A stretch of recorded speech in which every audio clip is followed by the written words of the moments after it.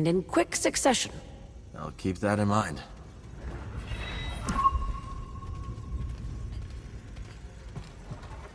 Treasure for wisdom, young sage. That would naturally attract you.